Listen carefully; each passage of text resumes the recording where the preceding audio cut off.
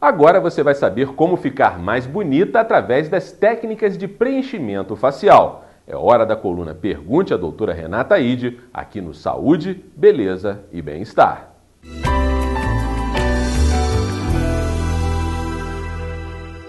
Olá, tudo bom?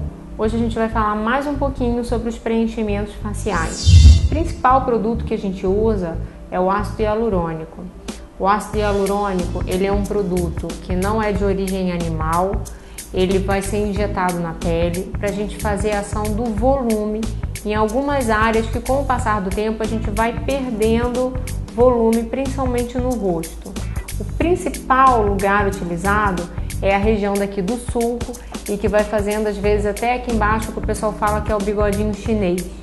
Então, esse é o principal lugar de utilização do produto, mas a gente usa bastante também na região dos lábios, tanto para quem tem o lábio muito fininho, quanto para quem faz aquelas linhazinhas em cima do lábio que a gente fala que forma o código de barras, que é muito comum em pessoas que fumam, mas algumas outras pessoas que têm uma produção de radicais livres maior também tendem, principalmente com a ação do sol, a formar essas linhazinhas com o passar do tempo.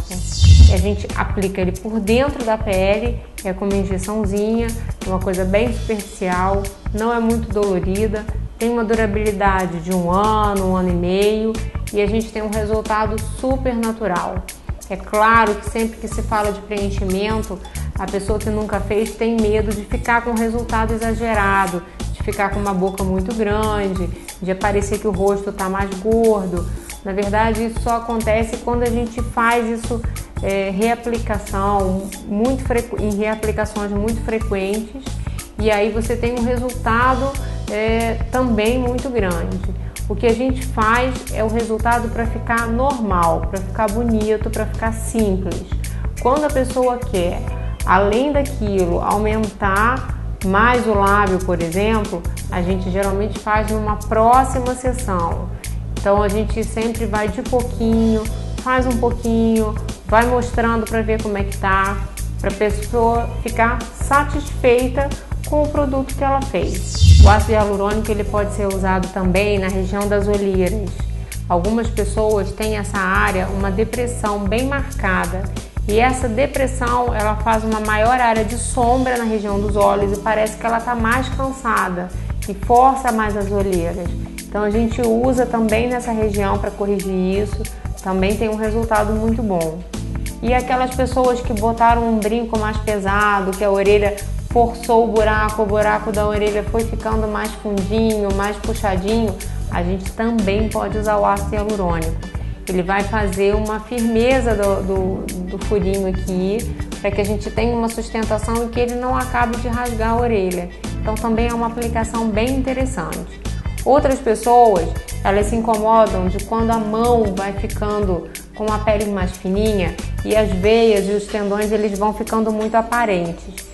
Nessa região a gente também pode usar o ácido hialurônico. A gente aplica em vários pontinhos das mãos e aí a gente vai ter um resultado mais uniforme. Ela fica uma mão mais gordinha, mais cheinha, mas não fica aparecendo eh, os sobressaltos das veias e dos tendõezinhos aqui da mão, que é uma coisa que incomoda muito algumas pessoas. A gente tem um resultado muito bom para isso também. Como o ácido hialurônico é um produto que a gente tem normalmente na composição da nossa pele, ele não costuma dar reação alérgica, ele não tem é, risco do organismo querer expulsar, de ter rejeição, nada disso.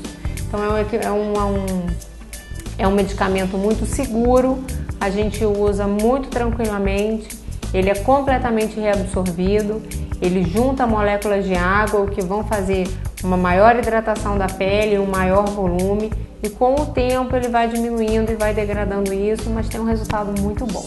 É isso que eu vim falar para vocês mais um pouquinho hoje.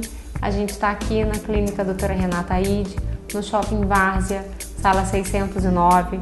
Nosso telefone é o 2643 0747. A gente está na internet no www.clinicadoutorarenata.com.br e no Facebook na Clínica Doutora Renata Aide. Espero vocês lá. Beijo, até já!